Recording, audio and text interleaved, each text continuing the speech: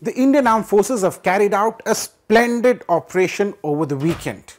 The dramatic, high tempo operations carried out by India on the high seas 2600 kilometers from the Indian coast has led to the arrest of 35 armed pirates while 17 crew members of a former Maltese flagged merchant vessel that is MV Ruen were rescued amid firing by both sides.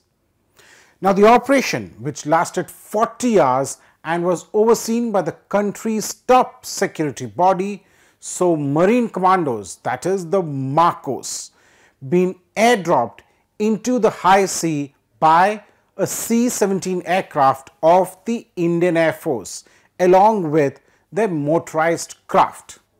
Now the operation also saw the use of the Sea Guardian drones, yes the very same drones that were procured uh, from the US on lease besides helicopter and stealth guided missile destroyer INS Kolkata and patrol vessel INS Subhadra of the Navy and of course the PA. Well, the action started on Friday when the Navy, which was tracking the Ruen now being used as a mothership by the pirates, caught up with it in the high seas. Remember, about 2,600 kilometers away from the Indian coast.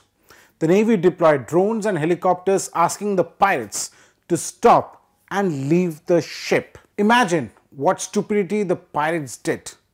They opened fire. Yes, they opened fire at the drone. INS Kolkata had to then open aggressive warning fire to show that it meant business. You would see those images on the screen. The sources said that these were warning shots.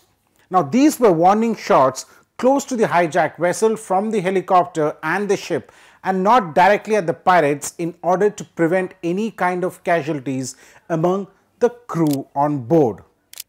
The firing by the pirates was relayed back to the naval headquarters here in Delhi which gave the captain of INS Kolkata the permission to take whatever action was deemed fit to prevent the pirates from escaping, even as they coordinated with the security establishment and the Air Force for a plan of action. A decision was then made to airdrop multiple marine commandos into the zone of operation to force the arrest of the pirates. Accordingly, a C-17 aircraft, yes, it's a transport aircraft, took off from a base in India with marine commandos on board who were airdropped into the area while INS Subhadra was also diverted. The marines landed on the high seas along with their motorized craft and maneuvered towards the hijacked ship, even as warning shots were fired to dissuade the pirates from taking any action. Warning shots from the helicopter as well as from INS Kolkata.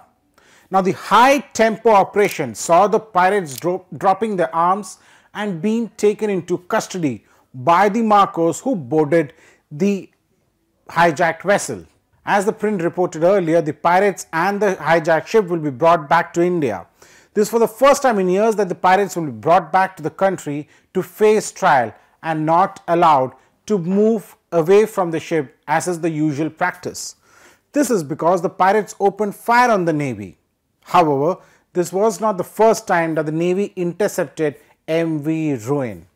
The ship was originally hijacked on 14th December that is 2023 by the pirates.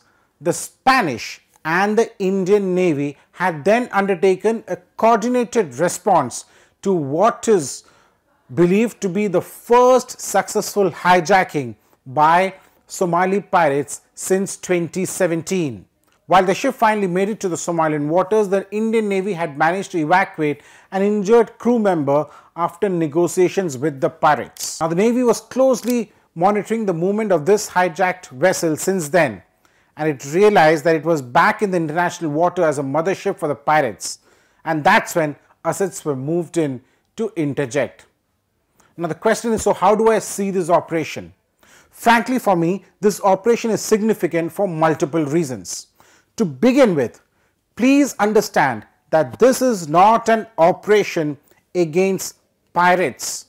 This was an operation to show India's ability to carry out operations in the high sea far away from our shores. On the weekend, it was the pirates.